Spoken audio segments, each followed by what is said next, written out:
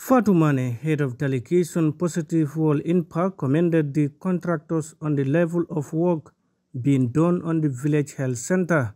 She, however, urged them to work hard to meet the deadline. It would be recalled that the organization some months back distributed bed nets to the people in the community to combat the spread of malaria. We just provide uh, the materials, but the, the the way to work, the way to do the things, it should be in the Gambian way for sure. So we just come here to, to supervise, but also to learn how you are doing the things, because also we need a, a lot of things to learn. When you work together with someone, it's like both people are, are learning from each other, so this is what we are doing today. We continue with this kind of friendship and also collaboration because as I said uh, we feel like uh, part of this community. So we just join the projects that uh, the community are doing. So we will continue uh, working together inshallah. The alkalo of Kerewan Samba Siramandika Kunda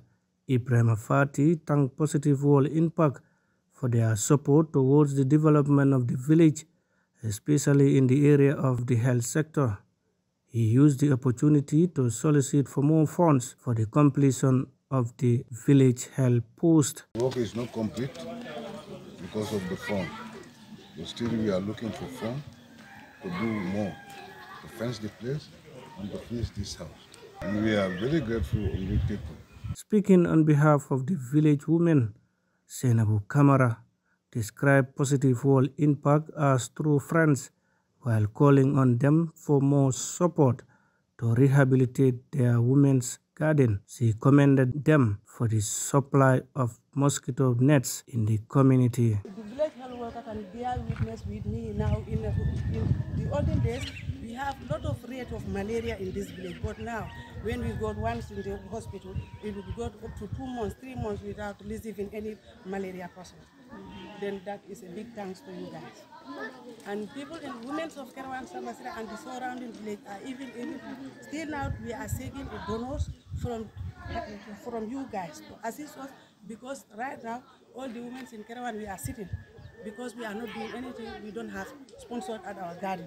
And we are looking, seeking a donation from you guys. The organizers also organized a veterinary clinic. A veterinary expert from Barcelona said the exercise will promote animal health. If a dog is um, unhealthy or uh, it have, they have any disease, it can be transmitted to other humans. So it's um, dangerous and sometimes can be um, very dangerous for the humans too.